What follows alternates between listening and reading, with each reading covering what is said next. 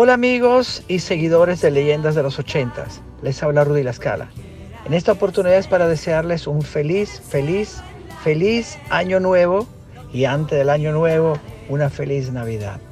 Que tengan mucha prosperidad, mucha salud y lo más importante, que sean cada uno de esas familias bellas y hermosas bendecidos por Dios y me los cuida toditos. Nos vemos pronto. Gracias.